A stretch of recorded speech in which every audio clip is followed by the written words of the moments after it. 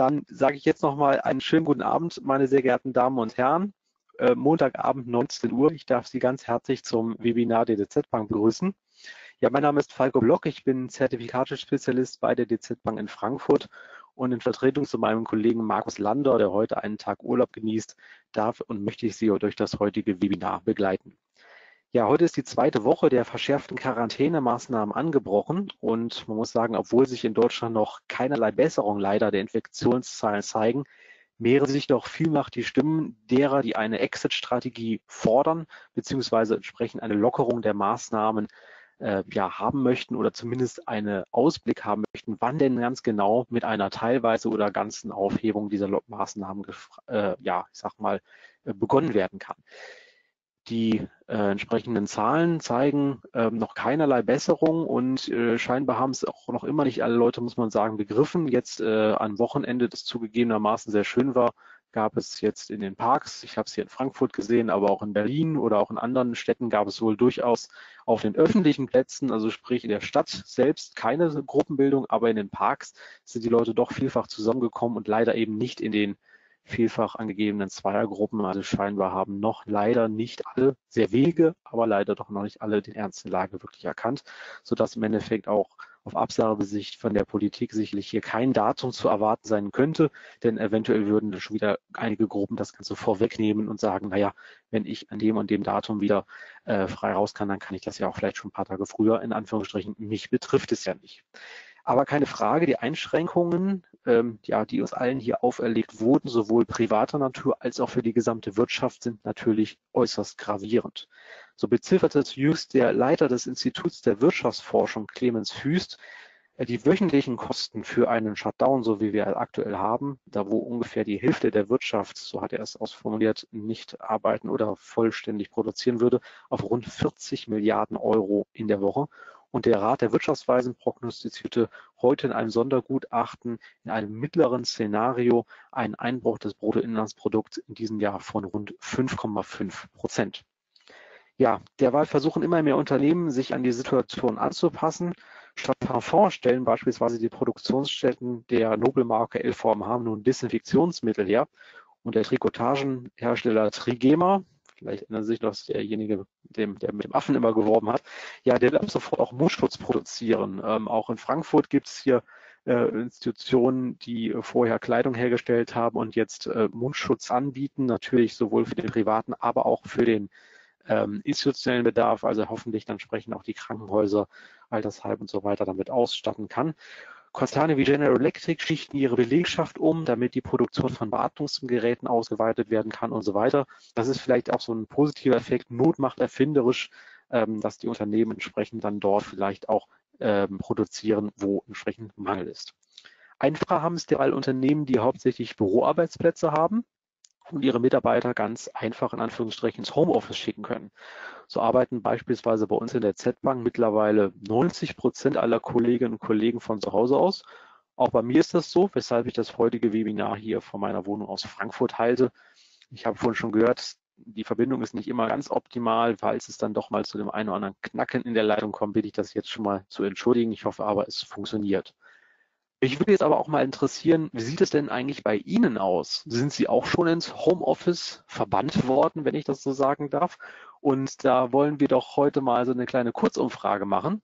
Und die würde ich dann jetzt gleich mal online schalten und äh, ja, Sie dann fragen, ähm, ja, sind Sie auch schon im Homeoffice? Wie sieht das bei Ihnen aus?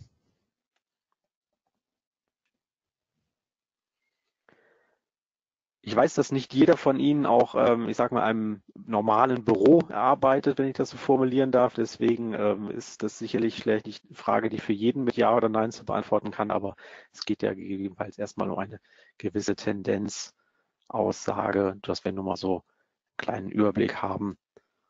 Und dann haben wir jetzt quasi schon 70 Prozent abgestimmt. Ein paar Sekunden würde ich die Umfrage noch offen lassen. Danke aber schon mal für die umfangreiche Beteiligung.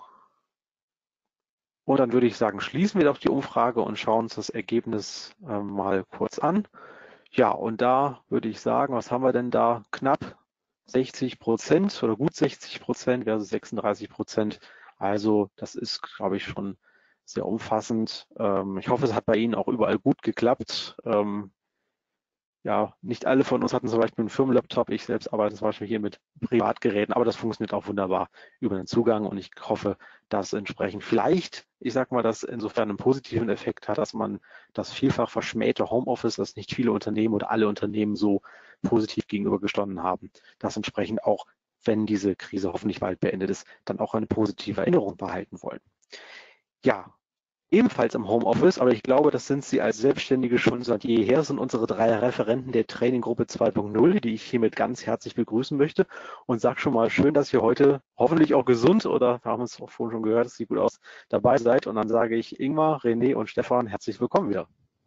Ja, Servus Falco, hallo in die Runde, einen wunderschönen guten Abend. Du hast es gerade schon gesagt, Falco, für uns ist das nicht wirklich eine Ausnahmesituation momentan. Äh, ich weiß, für viele ist es so, die jetzt äh, nicht im Büro arbeiten können, sondern zu Hause sind, wie bei dir jetzt ja auch zum Beispiel der Fall ist. Für uns ist das tägliches Geschäft, von morgens bis abends eigentlich vom PC zu Hause zu sitzen und die Märkte zu beobachten und zu traden und die Webinare zum Beispiel zu halten. Von daher für uns nicht ganz so eine große Umstellung, sagen wir mal so. Gut, ist da auch mal schön zu hören. Dann äh, ja, gucken wir doch gleich auf unsere heutige Agenda. Heute machen wir wieder den großen Marktrundumschlag, kann man sagen. Märkte im Ausnahmezustand immer noch. Auf der anderen Seite die milliardenschweren Hilfs- und Rettungsprogramme, die die Börsen zuletzt äh, kräftig beflügelt hatten. Wir hatten ja in den letzten Wochen sowohl rekordstarke Verluste als auch die stärksten Gewinne, die einige Indizes äh, in den letzten 20 Jahren fabriziert haben. Ja, da stellt sich dann vielleicht die Frage, ist jetzt gegebenenfalls schon eine gewisse Basis Basis für einen Markteinstieg gegeben, ist es möglich, jetzt schon wieder zu investieren. Die Anlageideen werden dann heute von der Trading-Gruppe auch noch mitgebracht. Die Trading-Strategien, die stellen nachher die Kollegin dann nochmal selber vor. Ganz wichtig natürlich wieder Fragen, Fragen, fragen Sie. Ähm, wir sind äh, vier Leute, wir können Fragen beantworten, immer wenn wir Sie zwischendurch was haben. Und ähm, es ist für, sagen wir, für die Öffentlichkeit insofern sinnvoll, dann werden wir das hier gerne äh, direkt mit reinnehmen dann nehmen die Referenten das als öffentliche Frage mit rein. Sind das so Einzelfragen, dann versuchen wir das dann entsprechend hier im Dialog kurz mit Ihnen zu besprechen. Aber ansonsten feuerfrei, der Chat ist eröffnet. Stellen Sie also gern alle Fragen, die Sie denn entsprechend da haben möchten. Bevor wir beginnen, möchte ich Sie wieder auf unsere rechtlichen Hinweise hinweisen. Die heißen entsprechend, das Webinar richtet sich ausschließlich an kundige Selbstentscheider mit Erfahrung in Hebelprodukten und alle die diesem Webinar besprochenen Produkthinweise zu Hebelprodukten erfolgen lediglich zu Demonstrationszwecken.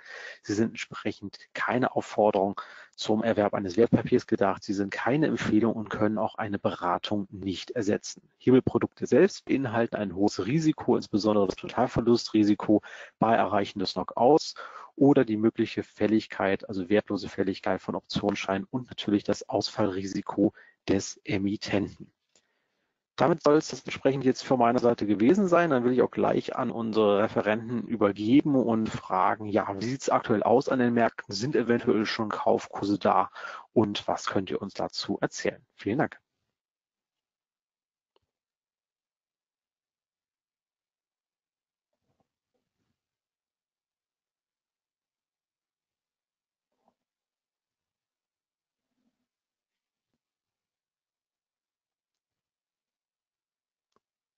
Möchte einer übernehmen? Ich höre jetzt gerade nichts. Ja, René, bis heute ja, scheint es hier. Okay. Ah, okay, ja, ja. alles klar. Alles okay. klar. Ja, heute machen wir ein bisschen Freestyle. So, jetzt klar. Ja, okay, wunderbar. Ich hoffe, alle sind äh, fit und gesund. Ähm, das ist ja das Wichtigste in diesen Tagen. Ähm, wir würden normalerweise, wir haben ja eigentlich immer ein klassisches Prozedere, dass wir zum Beispiel Saisonalitäten abklären, COT-Daten, ähm, also einfach auf äh, Regelmäßigkeiten auch die Märkte untersuchen, indem wir zum Beispiel auf Saisonalitäten schauen. Und ähm, das ist natürlich im Moment ähm, ehrlich gesagt Quatsch. Eine Saisonalität ist ja eine Regelmäßigkeit, die sich aus einem natürlichen Zyklus ergibt, also aus einem natürlichen Konsumzyklus, aus einem natürlichen Angebots- oder Nachfragezyklus. Der ist ja im Moment definitiv nirgends vorhanden. Also wir können jetzt, wir können uns jetzt die Saisonalität anschauen für die Aktienmärkte, die wir jetzt als erstes thematisieren wollen und äh, würden dann sehen, äh, typischerweise steigt es in dieser Jahreszeit. Nur im Moment ist ja nichts typisch. Wir haben äh, die ganzen Wirtschaften äh, weltweit sind runtergefahren. Wir haben überall den Lockdown. Äh, das heißt, wir können hier nicht mit Regelmäßigkeiten arbeiten, weil wir den absoluten Ausnahmezustand haben. Also wenn es jetzt steigen sollte, da werden wir gleich im nächsten Schritt äh, drauf eingehen, wie die aktuelle Lage dann tatsächlich ausschaut, ähm, dann hat das nichts mit der Saisonalität zu tun. Das ist dann ähm, Quatsch, weil äh, im Moment ist alles im Ausnahmezustand. Und äh, ich befürchte, das wird auch noch eine Weile äh, zumindest ansatzweise andauern. Wir haben extreme Bewegungen gesehen zuletzt in den äh, Aktienmärkten. Ähm, dabei sind auch ja, Aktien brutal abverkauft worden. Das ist, äh, es gab die größten Eintagesverluste. Äh, größer auch, äh, Warren Buffett hat das auch mal vor kurzem gesagt, er musste 89 Jahre alt werden, um sowas zu erleben, was wir jetzt neulich auch hatten. Und ähm, was interessant ist dabei aber auch, äh, das kann auch jeder mal nachprüfen gerne, ähm, es gibt in Bärenmärkten auch die größten Eintagesgewinne. Das heißt also die größten, ähm, die größten Gegenreaktionen, die größten Aufwärtsbewegungen finden eben auch da statt, weil die Volatilität natürlich hoch ist und weil es natürlich auch immer wieder Aktionen gibt, ähm, seitens der Notenbanken, seitens der Regierung, die dem Ganzen entgegenwirken. Und das vielleicht so als, äh, als, als Tipp oder als, das heißt als Tipp, aber als, als Hinweis, weil viele ja so die Philosophie vertreten, äh, oh, wenn es so stark schwankt, dann halte ich mich raus. Äh, muss natürlich jeder für sich entscheiden. Wenn man sich damit nicht wohlfühlt, klar sollte man draußen bleiben. Aber wenn es darum geht, ähm, wenn man von der Seite der Chancen, also wann sind die Chancen am größten, wann sind die Potenziale am größten, natürlich auch die Risiken am größten, das ist auch klar. Aber wenn man äh, von dieser Perspektive aus das betrachtet, dann muss man ganz klar sagen, in diesen Situationen hat man auch die größten Chancen. Aber die erkauft man sich natürlich auch, indem man entsprechende Risiken eingeht. Und was wir zuletzt gesehen haben, ist, dass die Aktien ähm, zwischenzeitlich brutalst abverkauft wurden und dass äh, alle dass der ganze Markt in Anleihen geflohen ist, obwohl Anleihen schon vergleichsweise teuer sind.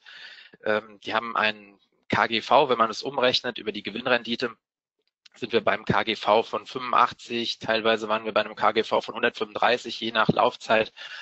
Aber das interessiert in solchen Panikphasen niemanden. Und äh, man sieht das hier, ich habe hier mal den Spread mit reingenommen, also die relative Differenz zwischen dem S&P und den US-Staatsanleihen, dem T-Bond. Und hier unten ist, dieser, ist dieses Verhältnis. Hier oben sehen wir die Charts, diese etwas gräuliche Linie, das ist der T-Bond. Und die dunkle Linie, die stark dunkle Linie ist der S&P 500. Und was wir hier sehen, ist, dass natürlich eine brutale Flucht in die Anleihen rein und aus den Aktien raus stattgefunden hat. Und ähm, wenn man sich mal anschaut, in der Vergangenheit, wann gab es diese, dieses extreme Auseinanderdriften? Also immer wenn diese blaue Kurve hier unten nach oben äh, gestiegen ist, dann bedeutet das, dass äh, die Bonds, also die Anleihen, äh, die Aktienmärkte brutal outperformed haben. Wenn man sich da einfach mal nur orientiert an den seltenen Situationen, in denen das der Fall war, dann waren das grundsätzlich auf jeden Fall Situationen, bei denen man gut beraten war, in den Aktienmarkt reinzugehen. Das Schwierige ist dabei natürlich, das, das zu timen. Ähm, das wird man kaum hinbekommen. Man kann sich natürlich an historischen Crashs orientieren. Da gab es äh, viele Crashs, die so ungefähr 25 bis 26 Prozent weit reichten. Das haben wir schon lange übertroffen. Dann gibt es einen Häufungspunkt so bei 35 Prozent und dann gibt es einen bei 50 Prozent. Aber auch der Vergleich hinkt, weil das waren meistens äh, strukturelle Probleme, die dem zugrunde lagen und es waren vor allem lokale Probleme. Also es waren Bankenkrisen, Immobilienblasen, äh, Techblasen. Aber jetzt haben wir das ja äh, ein gesundheitliches Problem und das ist, äh, es betrifft alle Sektoren, vielleicht von eins, zwei Sektoren ausgenommen, äh, aber es betrifft alle Sektoren und es betrifft sozusagen alle Wirtschaftsnationen und das ist äh, noch nie da gewesen. Deshalb muss man auch da vorsichtig sein. Es ist besser, wenn man sich an der Historie orientiert, als wenn man gar nichts macht und einfach ähm, blind drauf loshandelt aber äh, man sollte sich jetzt nicht zu sehr darauf einschießen, dass in der Vergangenheit äh, es gut war, bei 50 Prozent Rückgang zu kaufen. Ich denke, dass es sinnvoll ist, äh, wenn es also jetzt nochmal eine Welle geben sollte, macht das aus meiner Sicht schon Sinn, äh, sich da mal mit einer ersten Position reinzuwagen. Aber wir müssen halt einfach auch sehen, dass diese Situation noch nie da gewesen ist. Es gab aber auch noch nie so schnell ein Gegensteuern äh, von Notenbanken und äh, von Regierungen. Das muss man auch da positiv erwähnen. Da wurde also super schnell reagiert. Da werden auch Fehler passieren und klar ist nicht alles perfekt. Aber das muss man natürlich schon auch positiv mal dort erwähnen. Also nicht alles ist da jetzt nur schlecht. Wenn man sich also dieses Verhältnis anschaut zwischen Aktien und Anleihen, dann wären die Aktien grundsätzlich interessant. Gucken wir uns den FDAX Weekly Vola Breakout an. Ähm, hier ist ein Filter, der nennt sich Volvol. Äh, das ist ein Instrument, was mir den Marktzustand indiziert. Wenn der oben anschlägt an dieser roten Linie, auch das können wir in der Vergangenheit einfach uns anschauen, wenn der unten anschlägt bei der grünen Linie, dann heißt es, der Markt ist lange Zeit sehr ruhig gewesen, ähm, ist träge gewesen, trat auf der Stelle, hat sich nicht nachhaltig in einem Trend bewegt und dann ähm, setzten typischerweise Trends ein. Das ist nicht immer sofort der Fall. Jetzt hat es auch ein paar Mal hin und her geschaukelt, aber dann wird es eben umso dynamischer. Und wenn es oben anschlägt, und das hatten wir jetzt hier jüngst gehabt, dann hat das in der Vergangenheit immer das Ende eines Trends oder eines Crashs oder eines Bullenmarktes angezeigt. Das war hier zum Beispiel der Fall 2015, das Ende des Bullenmarktes hier, als diese Indikation kam. Ähm, wir haben das im Moment auch. Wir hatten das im Jahr 2009, das Ende des Bärenmarktes ging auch damit einher. Da kam nochmal so ein kleiner Schwung nach. Aber grundsätzlich war das damals ein Niveau, auf dem man durchaus ähm, kaufen konnte. Hier, da kam nochmal, ja, so 15, 20 Prozent kam schon noch nach.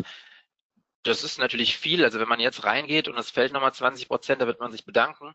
Aber man muss es natürlich auch in Relation sehen zu dem, was dann passiert ist. Der Markt ist damals von, ja, seinerzeit war man so bei 4000 Punkten ungefähr, als diese Indikation kam, oder bei 3500 Punkten. Das ist dann raufgegangen, später bis auf 12.000. Also das muss man natürlich auch in Relation sehen. Auf jeden Fall, wenn man sich diesen äh, diese Indikation anschaut, dann ähm, spricht auf jeden Fall das dafür, dass man jetzt bei diesem jüngsten Absacker gut beraten war, dort erste Longversuche zu unternehmen. Hier war das auch so, dass man ziemlich äh, das Ende dieses Trends und den Beginn einer Bodenbildung, einer, einer Umkehr erwischt hat. Hier war es auch so und hier war es auch so. Heißt also, von dieser Wohler-Komponente bei diesem brutalen Rutsch ähm, spricht alles dafür, dass, äh, dass wir jetzt zumindest in eine Bodenbildungsphase übergehen. Wie gesagt, ich glaube auch, dass es nochmal nach unten kommen wird, aber ähm, dass man jetzt diese Rücksetzer, wenn sie nochmal kommen, zum Einstieg nutzen kann, das äh, spricht zumindest dafür. Und schauen wir uns als letztes den S&P an. Da ist es so, dass wir hier den Forecast sehen, Intermarkets. Äh, das basiert auf dem Bondmarkt. Wir haben es eben gerade schon gesagt. Aktien und Anleihen sind natürlich konkurrierende Assets. Äh, wenn das eine äh, sehr, sehr viel unrentabler wird, beziehungsweise wenn die Renditen bei dem einen Markt unattraktiver werden gegenüber dem anderen, dann sucht sich das Kapital natürlich irgendwann auf mittlere Sicht die attraktivere Verzinsung. Und äh, wenn man das mal losgelöst davon betrachtet, muss man natürlich auch sehen, im Moment werden ja auch die Rohstoffe überwiegend sehr, sehr massiv abverkauft. Und das, was jetzt im Moment natürlich wird alles runterverkauft. Das, was den Unternehmen vorausgesetzt, sie überleben, und davon wollen wir mal ausgehen, die meisten werden überleben, ähm, auch natürlich mit Unterstützung von Notenbanken und Staat. Aber äh, da wird das natürlich auch positive Effekte haben, weil man kann natürlich die Produktionskosten, die gehen jetzt deutlich runter. Wenn man sich anschaut, Rohöl, zum Beispiel die ganzen Airlines, die ganzen Transportunternehmen, die können natürlich jetzt Rohöl unfassbar günstig einkaufen, Benzin äh, sehr, sehr günstig und ähm, auch diverse andere Produktionsmittel. Palladium ist zwischenzeitlich 40 Prozent gefallen oder 45 Prozent. Also Kupfer auch deutlich zurückgekommen. Das heißt also, so, ein, so eine Situation wie jetzt ähm, bringt nicht nur Schlechtes, sondern bringt auch mittel- bis langfristig ähm, positive Effekte. Äh, deshalb ist es auch nachvollziehbar, der, äh, der Forecast hier zeigt an, dass man tendenziell äh, bei Rücksetzern long handeln soll. Der zeichnet hier ein, ein Szenario, nachdem man bis in den August hinein immer wieder bei Rücksetzern die Long-Seite suchen sollte. Ähm, auch wenn ich persönlich, wie gesagt, davon ausgehe, dass das jetzt noch nicht der finale Boden war, ähm, ist es mit Sicherheit nicht verkehrt, wenn man schon eine erste Position drin hat, beziehungsweise wenn man ähm, aus Sicht der Intermarkets und auch aus Sicht der Volatilität äh, bei Schwäche versucht, in den Markt reinzugehen. Ähm, das war's soweit für diese ersten Vorfilter und damit übergebe ich an den Stefan. Jawohl, und Ich beginne wie immer mit der langfristigen Betrachtung. In dem Fall ähm, heute mal zunächst mit dem S&P 500. Den hat René ja gerade eben schon äh, besprochen. Und das hier ist ein Monatschart. Das bedeutet, ein Balken hier ist ein Handelsmonat und da sehen wir, dass wir seit der Finanzkrise einen langfristigen Aufwärtstrendkanal ausgebildet hatten und aus dem sind wir jetzt zuletzt klar nach unten ausgebrochen. Und interessant eben auf dieser Monatsebene ist, dass wir in der Vergangenheit äh, bei Übertreibungsphasen oder Prinzip kurz vor Trendwenden, vor oberen Trendwenden, hatten wir relativ hohe Niveaus bei dem MACD auf Monatsbasis erreicht und danach ging es dann eben entsprechend immer mehr oder weniger steil nach unten. Und das Gleiche hatten wir eben im Prinzip schon seit 2018. Da hatten wir eine negative Divergenz. Das heißt, wir hatten fallende Hochpunkte im Indikator in Verbindung mit steigenden Hochpunkten im Index selbst. Da hatten wir schon äh, das eine oder andere Mal ähm, im Vorfeld darauf aufmerksam gemacht. Und jetzt haben wir trotz des Einbruchs haben wir immer noch ein relativ hohes Niveau von dem Indikator, so dass äh, auch ich davon ausgehe, dass wir den Boden bislang noch nicht gefunden haben, sondern dass wir da durchaus noch weiteres Potenzial nach unten haben werden. Aus fundamental lässt sich vielleicht auch damit erklären, dass ähm, die, die Folgen aus der ähm, Corona-Pandemie momentan noch nicht äh, wirklich so klar abzuschätzen sind und ähm, dass daraus sich vielleicht dann noch ein weiterer Verkaufsimpuls äh, ergibt, beziehungsweise die Folgen bislang noch nicht vollständig eingepreist sind. Auf der anderen Seite haben wir natürlich die Maßnahmenpakete, die von Politik und ähm, Notenbanken beschlossen worden sind. Da kam auch äh, eine Frage rein zu dem Thema. Ähm, ich rechne damit, dass ähm, diese Maßnahmen sich dann mittelfristig durchaus bemerkbar machen. Bedeutet, wenn wir nochmal einen Rücksetzer sehen werden, dann dürfte es auch ähm, dann mittelfristig wieder nach oben gehen durch das äh, weiterhin sehr günstige oder sehr billige Geld. Die, die Geldhähne sind weiterhin aufgedreht worden. Und äh, da kann ich mir eben vorstellen, dass dieses dann äh, die, die Rallye am Aktienmarkt wieder entfacht äh, und ja, vielleicht das eine oder andere Unternehmen, das äh, günstige Geld dazu nutzt, um eigene Aktien zurückzukaufen. Äh, viele Anleger werden dann wieder drauf äh, aufspringen auf den Zug. Und äh, das hat auch den Hintergrund, dass es eben äh, nicht wirklich viel Alternativen gibt, äh, was die Rendite anbelangt, so äh, dass ich eben davon ausgehe, dass wir nach einem weiteren Rücksetzer dann aber auch wieder mittelfristig nach oben ansteigen können. Gehen wir bei dem S&P eine Ebene tiefer, das sieht man ein bisschen mehr Details.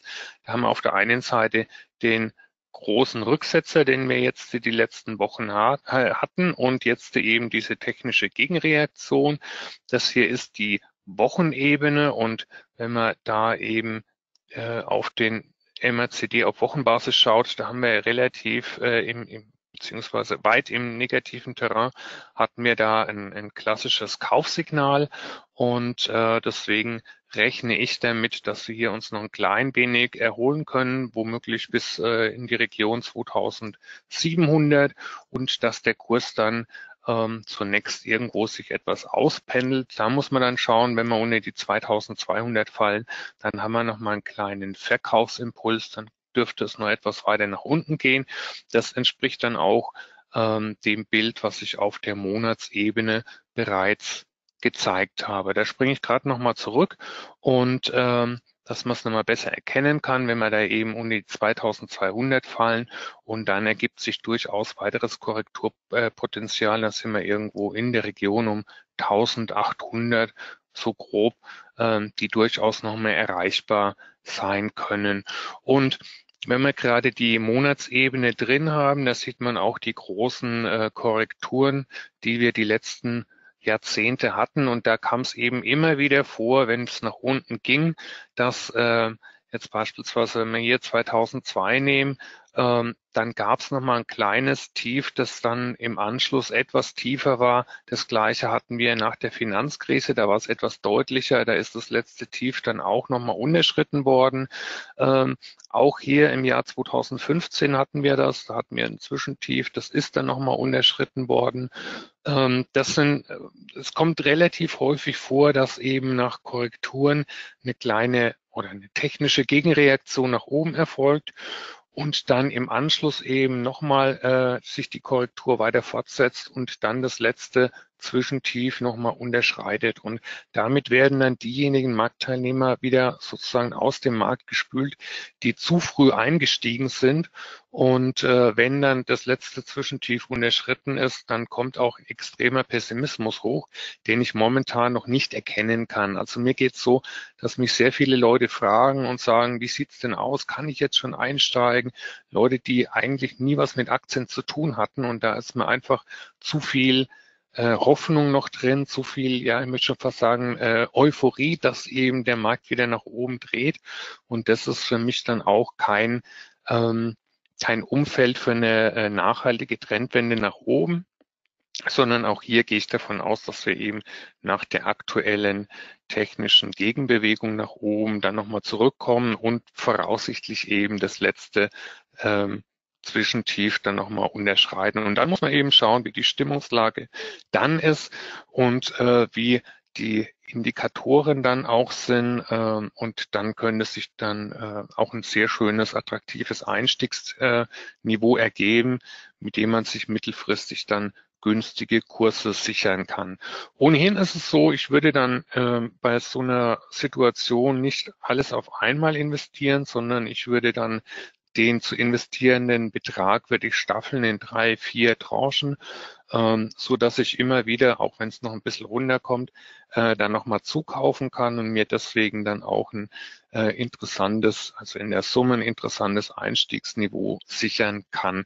Kann natürlich sein, dass ich da nicht dann mit allen drei oder vier Tranchen dann zum Zuge komme, aber ich werde auf jeden Fall in dem Markt drin sein, wenn es nach oben weitergeht und ich gehe kein äh, großes Risiko dabei damit ein, sondern äh, ich verteile eben das, äh, den Betrag auf mehrere Einstiege. Ähm, ich gucke dann nochmal weiter, was die US-Märkte angeht. Wir haben hier den Dow Jones, da haben wir im Prinzip das gleiche Bild wie beim S&P. Auch hier hatten wir eine negative Divergenz im Vorfeld, äh, steigende Kurse im Indikator in Verbindung mit fallenden Kursen im MRCD auf Monatsbasis und auch hier sind wir noch weit im positiven Bereich. Das bedeutet, wir könnten auch im Dow Jones noch weiter nach unten korrigieren. Und auch da ähm, richtet sich der Blick dann ähm, so grob auf das Hoch, was wir hier ähm, vor der Finanzkrise hatten. Da sind wir irgendwo im Bereich um 14.000 ähm, Punkten. Hört sich jetzt natürlich erstmal mächtig an, aber das, ich halte es durchaus für möglich, dass wir eine klare Übertreibung nach unten bekommen und man dann eben äh, zu Schnäppchenkursen ähm, da einsteigen kann. Auch hier gehen wir mal in die zunächst in die Wochenebene rein. Da sieht man eben, dass wir jetzt an der Unterstützungszone um rund 18.000 Punkten nach oben äh, gedreht haben. Und wenn dann diese Bewegung hier ähm, sich ausgependelt hat und wir das wirklich unterschreiten und dann haben wir eben diese Region um rund 14.000, die im Prinzip die nächste markante äh, Unterstützungszone darstellt. Ähm, das gleiche habe ich, wenn ich den Nasdaq anschaue, hier zunächst mal auf ähm, Tagesbasis, da haben wir eben auch die Erholung drin. Und äh, wenn diese also da haben wir bei 8000 ungefähr ähm, eine Widerstandszone. Und wenn die hält und wir da nach unten weggehen und das letzte Zwischentief nochmal unterschreiten und dann können wir durchaus bis zu dem Zwischentief von Ende 2018 bei rund 5900 so Pi mal Daumen nochmal zurückfallen. Und äh, wie gesagt, da ist es eben wichtig, was macht die Stimmung, äh, wenn Sie da dann überlesen, die Welt geht unter, der größte Aktien, Aktiencrash aller Zeiten und äh, bloß nicht kaufen und äh, solche Headlines eben und dann ist äh, aus meiner Sicht der richtige Zeitpunkt da, um eben einzusteigen. Momentan ist es eher so, dass man eben äh, äh überall über die Frage stolpert, sind jetzt gute Einstiegsniveaus da? Also ist mir einfach das, das Umfeld alles noch zu positiv. Und zu guter Letzt gehe ich dann, was die Indizes angeht, äh, auch nochmal kurz auf den DAX ein. Das hier ist eben auch die Monatsbasis. Und auch da hatten wir im Prinzip äh, zunächst äh, von 2015 bis 2018 schon mal eine negative Divergenz drin. Die hatten wir dann in 2018 auch korrigiert. Und dann hatten wir mit den leicht höheren Hochpunkten, die wir hier Anfang des Jahres hatten, im Vergleich eben zu Anfang 2018 eine erneut negative Divergenz drin. Und damit haben wir diesen ja, etwas leichter ausgeprägten Aufwärtstrend mittlerweile unterschritten. Im Tief haben wir die 8000 gesehen. Da sind wir bei einem Kurs-Buchwert-Verhältnis in etwa bei 1,0. Also Buchwert nur zur Erläuterung, wer das äh, nicht versteht. Ähm, das bedeutet, äh, wie viel Substanz hat das Unternehmen, ganz vereinfacht erklärt. Und wenn ich ein Kurs-Buchwert-Verhältnis habe von unter eins, dann äh, könnte ich theoretisch über den Aktienmarkt das Unternehmen günstiger kaufen als das, was es eben an Substanz wert ist.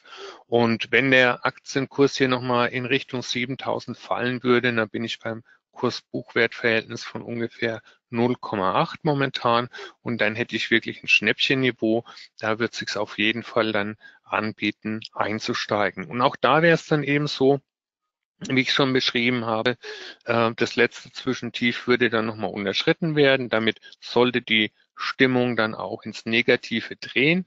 Und wenn ich mir das eben in der Vergangenheit anschaue, und dann hatte ich das hier auf der einen Seite 2002, 2003, dann hatte ich das 2008, 2009 und auch hier nochmal 2011 wurde das letzte Zwischentief auch nochmal unterschritten. Im Prinzip habe ich das gleiche hier auch nochmal gehabt 2015, 2016. Also es ist in der Vergangenheit sehr oft vorgekommen, dass nach größeren Korrekturen dann das äh, zunächst erfolgte Zwischentief dann nochmal unterschritten worden ist und dann ist plötzlich die Angst da gewesen, dass die Kurse dieses Mal vielleicht doch nicht so schnell nach oben drehen können und dann war die Gelegenheit immer günstig, ähm, da eine ja, eine mittel- bis langfristige Long-Position aufzubauen. Und meiner Meinung nach haben wir jetzt eben genau das Gleiche. Es sind noch zu viele ähm, am Markt, die eben ähm, warten, dass man schnell einsteigen kann, die, wie gesagt, äh, eigentlich mit dem Aktienmarkt die letzten Jahre gar nichts zu tun hatten. Und äh, erst wenn da die Stimmung wieder etwas negativer ist, und dann gehe ich davon aus, dass wir auch eine nachhaltige untere Trendwende sehen werden. Da haben wir jetzt den DAX nochmal auf Monatsbasis. Das sieht man nochmal sehr schön, das Hoch, was wir hier vor der Finanzkrise erreicht hatten, bei rund 8200. Das sind wir jetzt auch erstmal nach oben weggedreht. Und ich gehe auch hier davon aus, dass wir zunächst mal ein kleines bisschen auspendeln und dann womöglich da das letzte Tief nochmal unterschreiten. Und wie gesagt, dann ist eben die Stimmung wichtig. Da kann jeder selbst darauf achten, wenn er einfach mal im Internet rumschaut oder in den, in den äh, Zeitschriftenkiosk geht und sich da die Headlines mal anschaut. Und je negativer das die sind, äh, desto positiver ist sozusagen äh, das aktuelle Niveau dann für einen Einstieg. Gut, gehen wir noch eine Ebene tiefer, beziehungsweise ich gehe gleich mal zwei Ebenen tiefer. Das ist der Stundenchart im DAX. Da sehen wir eben die Erholung, die wir jetzt zuletzt hatten. Jetzt haben wir die letzten Tage eine kleine Konsolidierung gehabt. Die können nach oben nochmal aufgelöst werden, so dass wir dieses, diese Kurslücke hier bis 11.500 durchaus nochmal schließen könnten. Und äh, dann kann man vorstellen, dass äh, die Stimmung unter den Marktteilnehmern wieder sehr bullisch ist und äh, was für mich dann ein Anzeichen dafür wäre, dass wir dann eben entsprechend wieder nach unten abdrehen. Das nur so viel, dass es jeder ein bisschen äh, nachvollziehen kann. Ähm, die Stimmung lässt sich von jedem selbst durchaus etwas messen. Da muss ich nur eben äh, Börsenberichte anschauen, Börsenfernsehen, Magazine, Headlines. Äh, Wenn es sozusagen in der Bildzeitung drin steht, äh, dann wird es immer interessant und äh, wenn da die Kurse wieder in den Himmel wachsen, dann sollte ich eben genau das Gegenteil tun von dem, was da beschrieben wird.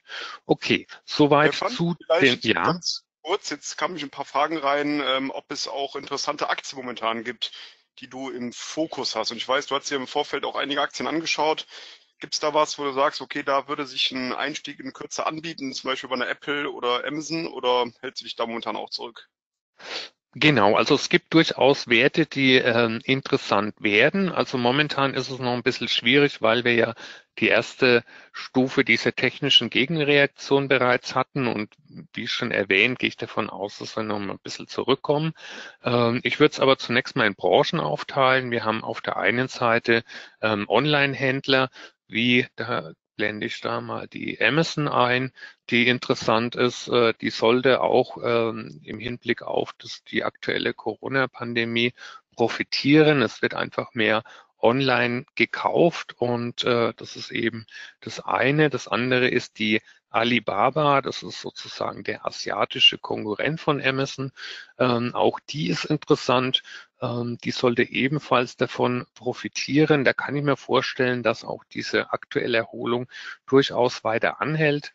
Hier, wenn ich den Dollar nehmen würde, die Alibaba, wenn wir da über die 200 drüber gehen und dann habe ich ein weiteres Kaufsignal, dann kann ich mir durchaus vorstellen, dass da die Erholung rasch weiter nach oben zeigt. Und bei einer Amazon ist es eben so, da äh, kämpfen wir momentan knapp unter der 2000 mit dem Widerstandsniveau das wir hier haben, das so bis 2040 ungefähr reicht. Und wenn wir da drüber gehen würden, und dann habe ich eben auch ein weiteres Kaufsignal drin.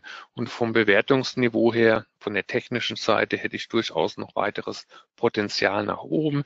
Da wird es allerdings interessant, die Kurslücke, die hier ähm, gerissen wurde im Februar bis 2100 US-Dollar. Wenn die geschlossen wird und dann muss ich eben zeigen, ist noch weitere Kraft da oder ähm, zeigen sich äh, Signale der Schwäche, dann geht es zunächst nochmal nach unten. Und wenn wir da wirklich mit einer großen Dynamik drüber gehen würden, und äh, dann kann ich mir eben vorstellen, dass der Weg nach oben erstmal weiter zeigt. Ähm, äh, Stichwort ähm, Online da ähm, ist beispielsweise auch eine Netflix äh, interessant als Streamingdienst oder aber eine Apple. Und eine Apple hatte ja in der Vergangenheit ähm, mehr und mehr das Gewicht eben auf Streamingdienste gelegt. Und äh, insofern äh, ist also Apple kein reiner ähm, ja, also die verkaufen nicht nur äh, iPads und iPhones, sondern die verdienen prächtig damit, dass man eben äh, Filme kauft oder äh, eben das äh, Apple Music als Streaming-Dienst verwendet und deswegen ist auch eine Apple da sehr interessant. Ähm, da ist es ebenso, ähm, es ist etwas schwierig zu definieren, wann äh, da der ideale Zeitpunkt zum Einstieg da ist. Wenn der Gesamtmarkt noch etwas nach unten geht, kann man vorstellen, dass die Apple auch nochmal etwas äh, sich abschwächt. Allerdings ist es äh, interessant, dass ähm, die ganzen Titel, die ich jetzt besprochen habe, ähm, deutlich weniger verloren haben als ähm, Branchen, die eben gänzlich uninteressant sind momentan. Ähm, da kann ich beispielsweise mal die Luftfahrtbranche ähm, anführen. Ich dann mir eine Lufthansa anschaue, die ist extrem eingebrochen und äh, es wird eben, das Alternativ geht genauso eine Ryanair oder eine Air France, da kann ich gleich mal drauf eingehen. Das Problem ist einfach, dass die ganzen Unternehmen die äh, Reisetätigkeit ihrer Mitarbeiter eingeschränkt haben durch eben die Corona-Pandemie. Und darunter hat die komplette Reisebranche zu leiden, ob es jetzt eine TUI ist oder die Luftfahrtbranche. Und deswegen kann ich mir auch vorstellen, dass bei der Lufthansa der Boden noch längst nicht gefunden ist. Wir haben hier auch äh, wirklich keine äh, idealen Signale momentan, sondern das sieht eben danach aus, als ob wir zumindest nochmal das Tief, was wir hier im Jahr 2003 hatten, irgendwo im Bereich um sieben ähm, Euro nochmal antesten können. Also das wäre jetzt ein Wert oder die Branche insgesamt, da würde ich äh, sehr vorsichtig sein damit. Da ist momentan nichts dran, was ich als attraktiv bezeichnen würde. Das gleiche haben wir hier bei einer Air France und da muss ich gucken, dass die Technik mitmacht. Die hat mich jetzt gerade verlassen. Doch, da ist die, äh, der Kurs. Ähm, und auch da ist es so, wir hatten hier das Tief von 2016, 17. Da sind wir leicht runter, haben jetzt eine kleine Gegenreaktion nach oben, die aber längst nicht so kräftig ausgefallen ist wie bei anderen Werten oder anderen Branchen. Und auch da rechne ich damit, dass wir das Tief von 2012 hier nochmal erreichen werden. Ähm, denn das, Problem ist also, die Reisetätigkeit äh, wird so schnell nicht wieder aufleben. Die Maschinen werden am Boden bleiben und damit wird es eben auch schwierig, äh, da Gewinne zu erwirtschaften. Die laufenden Kosten bleiben ja letztendlich und äh, mit jedem Tag, wo eben kein Flieger stattet, äh, werden Verluste geschrieben und das trifft, wie gesagt, äh, die ganze Luftfahrtbranche ähm, an sich. Und bei einer Ryanair ist es beispielsweise auch so, die haben ja alle Flüge mittlerweile gestrichen und äh, da gehe ich äh, davon aus, dass da nochmal ein ordentlicher Schub nach unten kommt. Ich glaube nicht, dass das schon alles eingepreist ist. Ähm, da ähm, würde ich auf der Long-Seite auf jeden Fall die Finger davon lassen, sondern vielleicht eher mich äh, nach Gelegenheiten auf der Short-Seite umschauen. Ähm, ähm, Stefan, ich würde mal kurz, weil gerade auch ein paar Fragen jetzt reinkamen und das mit der Luftfahrt kann man auch gut aufgreifen, um zum Ölpreis zu kommen, weil da gerade eben auch die Frage von einem Teilnehmer kam und der René ja eben schon gesagt hat, dass einige Rohstoffe deutlich unter Druck kamen. Dazu zählt natürlich auch WTI beziehungsweise Brent, der Rohölpreis natürlich massiv unter Druck gekommen. Und René, vielleicht dann erstmal an dich die Frage, wie du die Sache von den Vorfiltern siehst bei Rohöl, ob es da jetzt schon zu einer Bodenbildung kommen könnte. Und danach können wir dann wieder zum Stefan kommen, der das Ganze dann auch nochmal charttechnisch sich anschauen kann. Ja, bei, bei Öl ähm, ist es so, da muss man natürlich im Moment auch sehen, äh, da kommen ja gleich zwei Faktoren zusammen. Einmal, dass die Wirtschaft, die Weltwirtschaft runtergefahren ist. Also es wird natürlich logischerweise ähm, weniger nachgefragt oder wenig bis nichts nachgefragt von der, äh, von der Flugbranche, von den Airlines. Es wird von den Transportunternehmen weniger nachgefragt und es wird natürlich auch privat weniger gefahren. Das heißt also, das, was typischerweise hier die Nachfrage bringt in dieser Jahreszeit, ist im Moment äh, fast nicht existent. Und äh, das ist der eine Faktor. Und der andere Faktor, der natürlich jetzt auch da neulich diesen Crash ähm, bestärkt hat, war oder ist nach wie vor dieser, ähm, ja, dieser Preiskrieg zwischen Saudi-Arabien und Russland. Und man sollte dabei wissen, dass die Produktionskosten für Öl, die liegen bei 2,80 Dollar bis 3 Dollar. Also ich glaube 2,80 ist es in Russland und äh, 3 Dollar in Saudi-Arabien oder umgekehrt. Also die liegen ungefähr bei 3 Dollar. Da kommen natürlich dann noch äh, ein bisschen Steuern drauf, Transportkosten aber man äh, kommt jetzt nicht auf so hohe äh, Produktionskosten. Deshalb sollte man sich da nicht täuschen, ähm, was die Länge dieses Preiskrieges angeht. Das kann durchaus noch ein bisschen weiter nach unten gehen. Und äh, hier sehen wir mal die Historie der Produktionsmenge. Also das ist das, was Saudi-Arabien ähm, in der, der Vergangenheit gefördert hat. Und da sehen wir, dass wir schon ein ganzes Weilchen auf einem relativ hohen Niveau sind. Das ist so ungefähr das Niveau, was wir Ende der 70er, Anfang der 80er hatten. Damals ja auch die große, ähm, die große Ölkrise. Ähm, das ist also ein vergleichsweise hohes Niveau. Jetzt gab es auch schon ähm, ja, Statements von Donald Trump, der äh, Saudi-Arabien dazu aufgefordert hat, die Fördermengen wieder zu kürzen. Ähm, aber ich kann mir vorstellen, dass die da äh, vielleicht ihren eigenen Kopf haben.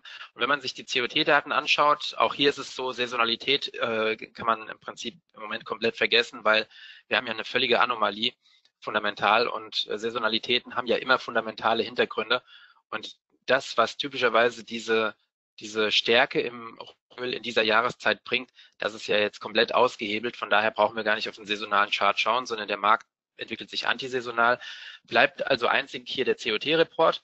Und äh, normalerweise bei so einem brutalen Einbruch der Preise könnte man erwarten, dass die Produzenten ähm, relativ wenig Preise festschreiben, dass sie also wenig Futures verkaufen, ähm, gleichzeitig, dass die abnehmende Industrie relativ viel kauft. weder das eine noch das andere können wir hier sehen. Wir sehen, dass die, ähm, dass das Lager der Commercials, das sind eben Produzenten und abnehmende Industrie, also zum Beispiel Shell und American Airlines, ähm, dass die netto sogar noch Futures verkauft haben. Das heißt also, auf diesem Niveau werden ähm, sogar noch Preise festgeschrieben und das ist äh, eher untypisch. Und wenn so eine Konstellation auftritt, wir sehen es hier unten im neuen Report, da sind die Swap-Dealer, die auch weiterverkauft haben. Ähm, das sind auch viele Hedges, die von Unternehmen gemacht werden, beziehungsweise die die Unternehmen machen lassen über die äh, über Banken, über Investmenthäuser, sind aber natürlich auch dann ähm, Absicherungen von von derivativen Geschäften. Aber auf jeden Fall, wenn man sich das anschaut, sieht man, ähm, hier wird eher sogar noch bei den niedrigen Preisen werden eher sogar noch ähm, in Anführungszeichen Absicherungen getätigt, werden Netto-Futures eher verkauft aus dem Lager der Commercials. Von daher ähm, befürchte ich und gehe davon aus, dass wir hier noch den Boden nicht gesehen haben, sondern dass das möglicherweise noch in Richtung 14, 15 Dollar gehen kann beim Rohöl. Und ähm, ja, da bin ich gespannt, was der Stefan äh, charttechnisch zu diesem Markt sagt. Jawohl, und auch beim Ölpreis beginne ich zunächst mit einer langfristigen Betrachtung. Ich habe hier mangels äh, Kurshistorie ähm, zunächst mal den Ölpreis der Sorte Brent eingeblendet. Da habe ich äh, in dem Programm hier einfach eine längere äh, Kurshistorie und da sieht man eben, wir sind jetzt äh, an dem Zwischentief angelangt, was wir Ende der 90er hatten, beziehungsweise wo wir Mitte der 90er schon mal mitgekämpft hatten. Und vom Bewertungsniveau her, das ist auch eben wieder ein Monatschart und entsprechend sind die Indikatoren oder ist der Indikator dann auch auf monatlicher Basis berechnet. Ähm, da sind wir gerade mal im neutralen Bereich. Da hätten wir also durchaus noch äh, Potenzial nach unten. Ähm, beziehungsweise ähm, ja, es ist eben ein neutraler Bereich. Das heißt, es muss nicht zwingend nach unten gehen, könnte theoretisch auch nach oben gehen. Also da ist es ähm, ja, da, da ist jetzt nicht wirklich ein, ein markantes Signal rauszulesen. Und von der fundamentalen Seite, René hat schon erwähnt, ähm, Saudi-Arabien äh, produziert auf Teufel komm raus. Und da ist sicherlich auch ein Hintergedanke. Also bei dem letzten OPEC-Treffen war es ja so, dass Russland sich dagegen gewehrt hat, die Förderquoten bis zum Jahreswechsel einzuschränken. Äh, Russland wollte das eben nur fürs zweite Quartal machen.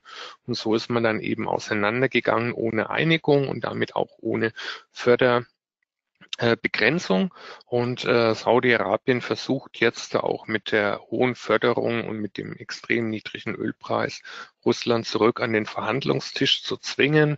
Und sollte das wirklich geschehen und sollte da wirklich dann auch eine Einigung in Bezug auf eine Begrenzung der Fördermengen ähm, dann verhandelt werden und dann kann ich mir eben vorstellen, dass es da so eine Art Short Squeeze geben kann. Das ist die Gefahr daran, wenn man sich momentan äh, auf der Short-Seite äh, positioniert und dann geht's eben entsprechend in eine steile Erholung über. Ähm, das nur zum Hintergrund, wenn sich da eben abzeichnet, dass da ähm, die OPEC-Plus-Staaten inklusive Russland eben dann wieder äh, treffen. Und dann sollte man da ein bisschen vorsichtig sein, denn dann kann eben durchaus so ein Signal erfolgen und dann geht's eben entsprechend nach oben. Jetzt gehen wir zum WTI selbst. Ähm, da ähm, habe ich jetzt die Historie nicht ganz so weit. Es ist jetzt auch eine Wochenchart und da sehen wir eben, dass wir bei rund 20 US-Dollar in einem relativ überverkauften Bereich angelangt sind. Ähm, das kann ich mir vorstellen, dass da zumindest eine Stabilisierung stattfindet in dem Bereich. Ähm, muss man eben schauen, wie es da äh, weitergeht äh, nach unten hin. Ja, also wir sind schon extrem stark gefallen und wie gesagt, äh, wenn es da Anzeichen geben sollte in Bezug auf ein OPEC Plus Treffen und dann kann ich mir vorstellen, dass es da eine entsprechende Gegenreaktion gibt. Das heißt allerdings nicht, dass ich jetzt in irgendeiner Form eine Positionierung vornehmen würde, sondern ich würde mir das einfach nur mal auf die Beobachtungsliste setzen und einfach mal zuschauen. Und auf der Tagesbasis haben wir es eben schon so, da sind wir weit im negativen Bereich, kurz vor einem, Verka äh, vor einem Kaufsignal, was eben darauf hindeutet, dass wir zumindest eine technische Gegenreaktion nach oben sehen könnten. Das ist allerdings dann noch keine Trendwende. Ähm, und auch hier ist es eben so, aufgrund der hohen Schwankungsbreite oder der hohen Dynamik, was wir da momentan drin haben, kann der Kurs durchaus noch etwas runterkommen, bevor es nach oben weitergeht. Deswegen ist es da äh, von sich aus schon schwierig, sich zu positionieren.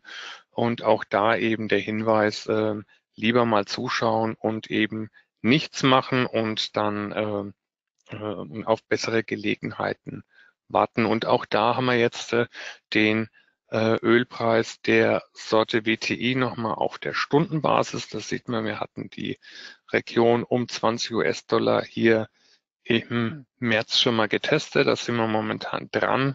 Kann man vorstellen, dass wir hier tatsächlich nochmal nach unten wegtauchen. Dann muss man eben schauen, wie viel Dynamik ist da noch drin? Ist es dann ein Fehlsignal? Geht es dann nach oben oder geht es äh, eben in eine weitere Abwärtswelle nach unten. Das bedeutet zusammenfassend, äh, wie schon erwähnt, ich würde ja momentan gar nichts machen, würde einfach mal die nächsten Tage abwarten, was ergibt sich für ein Signal, gehen wir da vielleicht äh, dann über die Region um 21, dann könnte ich kurzfristig vielleicht eine Long-Position aufbauen mit einer Absicherung so bei 1950 etwa. Gehen wir unter die 20 drunter, dann muss ich eben zeigen, haben wir viel Dynamik drin oder ist es eher sowas, wo da äh, versucht wird, ein, ein, technisches Fehlsignal äh, ähm, auszulösen. Das sind so die Dinge, wo ich eben die nächsten Tage da beim Ölpreis darauf achten würde. Gut, soweit von meiner Seite zum Ölpreis. Ingmar, ja, noch? dann würde ich sagen, äh, René, wir kommen noch mal, wir haben noch sieben Minuten. Kommen wir noch mal zum britischen Pfund gegenüber US-Dollar. Da geht's ja auch ziemlich heiß her, ziemlich große Sprünge. Und dann wollen wir doch da auch noch mal schauen, ob dort vielleicht ein interessanter Einstieg für die Long- oder aber auch für die Short-Seite besteht. Genau, ähm, das kriegen wir sogar schnell hin. Äh, hier wäre es saisonal, haben wir hier, ist der April der stärkste Monat, mit Abstand stärkste Monat ähm, für das Pfund. Das legt dort im Schnitt ungefähr vier Prozent zu. Hat damit zu tun, äh, dass am 6. April, also in diesem Jahr am 6. April, in der ersten Aprilwoche immer das Steuerjahr in Großbritannien endet und das neue Steuerjahr beginnt. Und wir haben äh, sehr viele Dividendenzahlungen, aber auch hier wieder wir haben ja eine völlige Anomalie äh, derzeit in der Wirtschaft, in der Gesellschaft. Von daher äh, muss man auch dort natürlich realistisch sein. Äh, die saisonale Stärke, die ist zwar typisch, aber die ist auch nicht in jedem Jahr da. In den letzten zwei Jahren war die auch jetzt nicht so ausgeprägt und in diesem Jahr muss man auch damit rechnen, dass es ähm, nicht normal läuft. Aber man kann es im Hinterkopf behalten. Das, was im Moment äh, für mich interessant ist, ultra kurzfristig. Wir hatten letzte Woche eine, eine richtig wuchtige Aufwärtswoche und nach diesen großen ähm, Wochenkerzen, wie wir sie jetzt letzte Woche hatten, gibt es typischerweise Konterbewegungen. Nicht immer. Hier bei dieser einen gab es die Konterbewegung nicht sofort, aber die setzten spätestens in der übernächsten Woche setzten die ein. Und deshalb ultra kurzfristig bin ich jetzt hier eher auf der Short-Seite für das Pfund und wenn man aber mit einem Blick auf Sicht von drei, vier Monaten äh, das Ganze betrachtet, dann ähm, orientiere ich mich hier am Forecast. Der Forecast zeigt hier unten, das ist äh, auch zinsbasiert, basiert auf den Zinsen ähm, in Großbritannien. Und da sieht man, dass die Kurve nach oben zeigt. Das heißt also, während ich kurzfristig jetzt auf eine Korrektur setze im britischen Pfund, die auch so ein bisschen angelaufen ist, ist mittelfristig äh, mein Plan, bei Schwäche Long zu gehen Heißt also kurzfristig Short, mittelfristig Long. Das äh, zeigen die Vorfilter an. Und damit nochmal zum Stefan zurück. Jawohl, und äh, ich versuche da auch nochmal ganz kurz auf den Langfristchart einzugehen. Da sieht man einfach mehr Details. So, jetzt mal, mal gucken. Ähm, Genau, das hier ist der Chart auf monatlicher Basis. Da sieht man, dass wir im Prinzip schon seit Jahren uns in einer Abwärtsbewegung befinden. Jetzt zum Schluss kam dann noch ein bisschen Druck äh, auf den Kessel. Da haben wir dann auch die 1,20 unterschritten. Und äh, es gab jetzt, äh, wenn man das erkennen kann, äh, da so eine kleine Gegenbewegung bis ähm, ja, rund 1, 21, 1,24 so um den Dreh rum.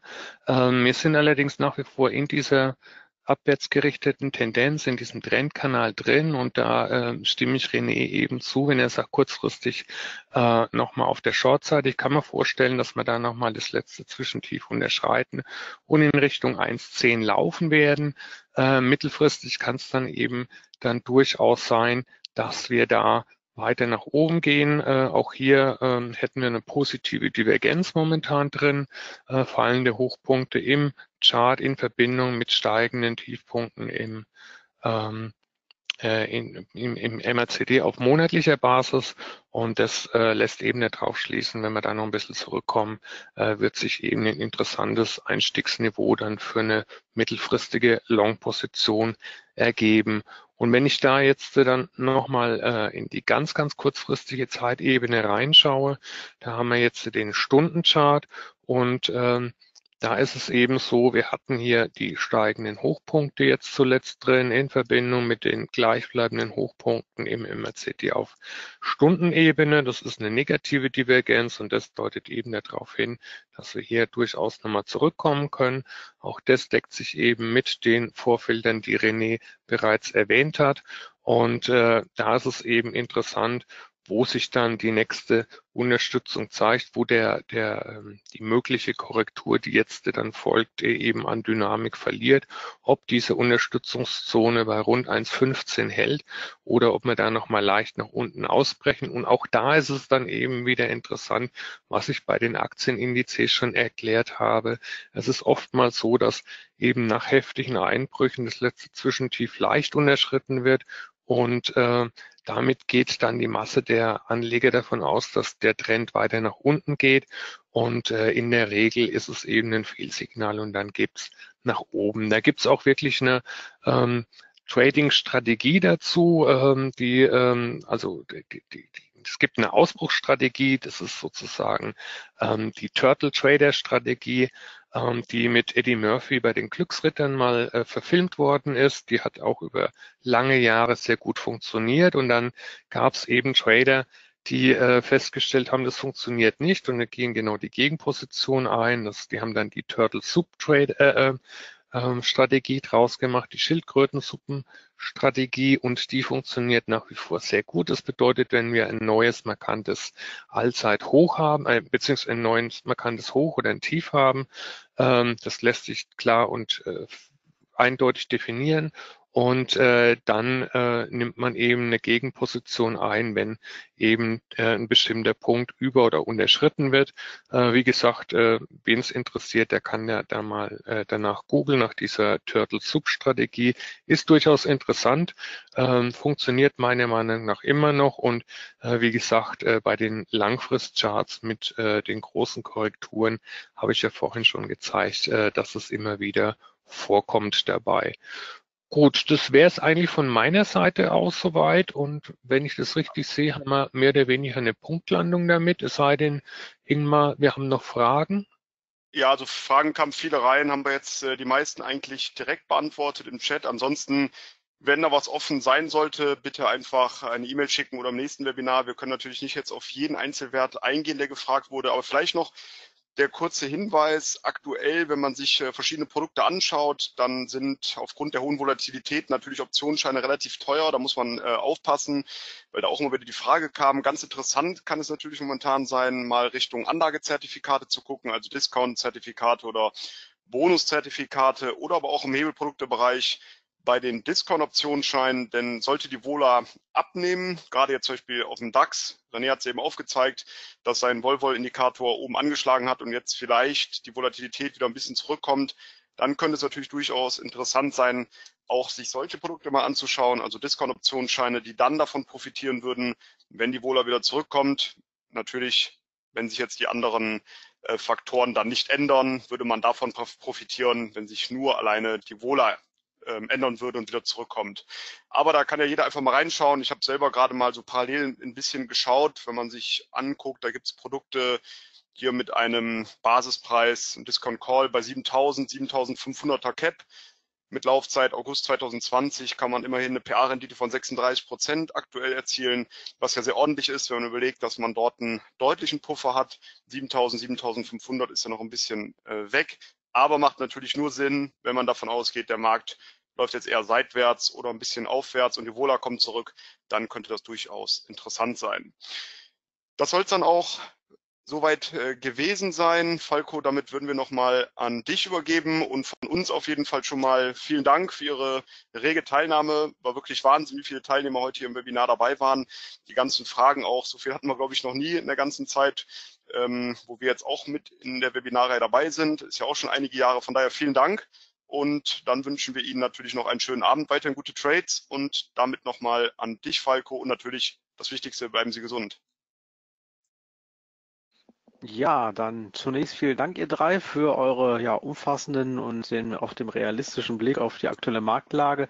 Ich schaue auch noch mal kurz, ähm, ob es noch irgendwelche Fragen übrig geblieben sind. Das mit den Volatilitäten kann ich auch noch mal unterstreichen. Also wir hatten äh, die eine oder andere Frage von äh, Privatanlegern. Dann hatte jemand einen Optionsschein gekauft. Dann ging der DAX, also sagen wir mal Optionsschein gekauft bei DAX, sagen wir mal 8.200 Punkte. Dann ging der DAX auf 8.900 Punkte hoch. Das Produkt stagniert oder fiel sogar zurück. Und da wurde gefragt, wie kann das denn sein? Ja, da muss man natürlich immer auch auf die sogenannte Volatilität achten. Die ist eigentlich über den VDAX New relativ gut auch auf vielen äh, Finanzportalen zu finden. Das ist also ein Index, der zeigt, wie wird oder wie sehen die Marktteilnehmer die erwartete Schwankung des DAX in den nächsten 30 Tagen auf analysierter Basis. Und da waren wir zuletzt mit Volatilitätsdaten von 80 Prozent auf äh, Werte, die teilweise sogar über der Finanzmarktkrise landen. Das heißt also im Endeffekt 80 Prozent heißt, die Marktteilnehmer erwarten, dass der DAX in den nächsten 30 Tagen dann bei plus minus 40 Prozent äh, schwanken wird. Ähm, also extreme Unruhe und extreme Unsicherheit. Man sagt ja auch Angstbarometer. Ja, und Optionsscheine und die Optionen beinhalten eigentlich nichts anderes als eine Versicherungsprämie, so könnte man sagen. Und diese Prämie ist dann natürlich dann extrem teuer. Also da macht es dann durchaus äh, Sinn, eher auf Turbo-Zertifikate sitzen, die eben von dieser Volatilität nicht so, nicht so muss man sagen, sie sind auch nicht komplett unabhängig, aber sie sind nicht so stark davon ähm, betroffen. Oder eben äh, nutzen Sie diese Volatilität, also verkaufen Sie sie indirekt, indem Sie beispielsweise, wie Ingmar schon gesagt hat, sich einmal Discount-Zertifikate oder auch Bonus-Zertifikate anschauen. Da war auch das Thema ähm, Öl, ist nämlich auch so ein, so ein Thema, wenn man in Öl direkt investiert.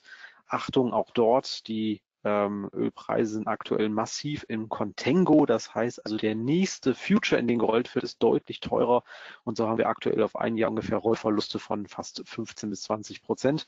Also da vielleicht äh, gegebenenfalls lieber mal auf die Aktien zu schauen. Was ist mit Royal Dutch Shell? Was ist mit der Total? Da gibt es aktuell Bonuszertifikate. Die haben immer noch 30 Prozent Puffer und trotzdem Renditen im hohen zweistelligen Bereich. Ansonsten glaube ich, wir haben die äh, meisten Fragen beantwortet. Ähm, das freut mich. Ich glaube, da sehe ich jetzt keine, die noch offen sind. Deswegen würde ich sagen, gehen wir doch gleich ähm, auf das nächste Thema. Ähm, und zwar danke ich zunächst an dieser Stelle unserer Traininggruppe 2.0 für eure ausführlichen und ja realistischen, wie gesagt, Blick auf die Märkte. Ich glaube, da habt ihr wieder eine ganze Menge an Daten und Fakten heute geliefert für unsere Teilnehmer. Ähm, zum Abschluss möchte ich Sie dann noch auf unser nächstes Webinar hinweisen. Das wird dann am 6.4. sein. Also nächste Woche Montag, wenn Sie mögen, dann haben wir wieder Franz-Georg Wenner zu Gast, der uns seine technische Sicht der Dinge auf die Märkte im The Big Picture aufzeigen wird.